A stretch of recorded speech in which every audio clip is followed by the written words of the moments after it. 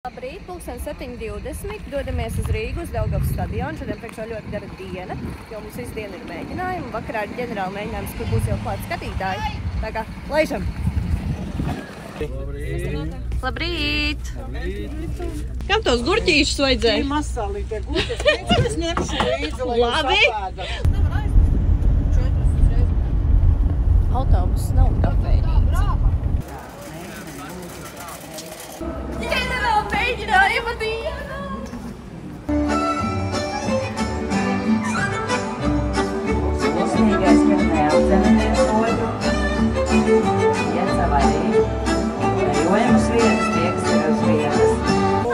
Lietus. Atkal slapš. Lūdzu, palīdzam saviem kolektīviem izveidot trešo zīmējumu. Ienākšana laukumā. Ļoti ātri jāiet paēst. Grafiks ļoti saspringts. Pusdienlaiks. Kas mums te ir kartupelīši, gaļiņa, tomāts un gurķīts.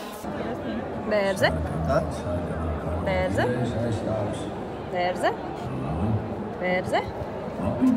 Bērze. Bērze. E, Pūce. Smalcnieks. Vēl viens radnieks, vēl viens radnieks, kalniņa flanks, kalniņa flanks. Mazi,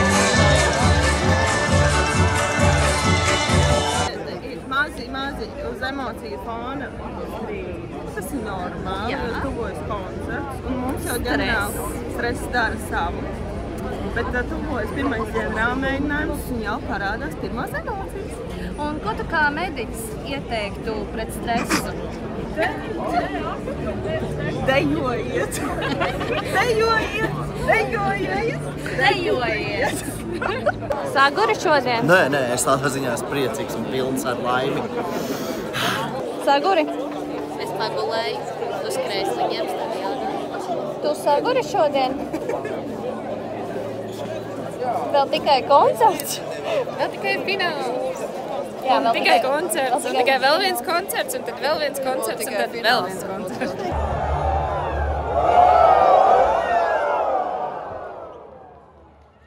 Vakariņas vai launaks, bet ieturamies pirms koncerta. Pucējamies.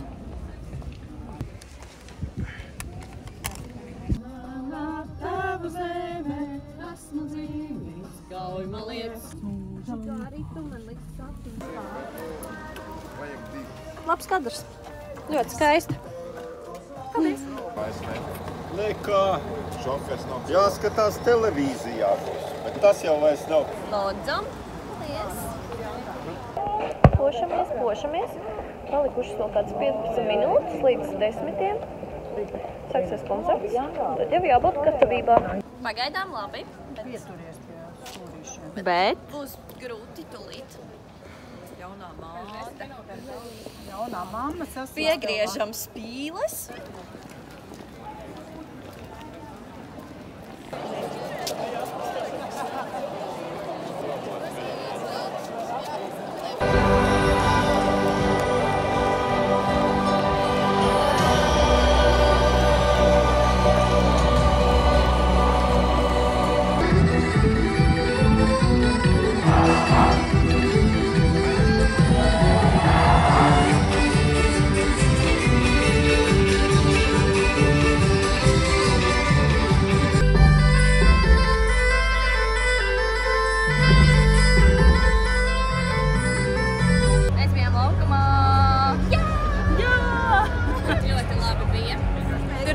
Jā! Jā!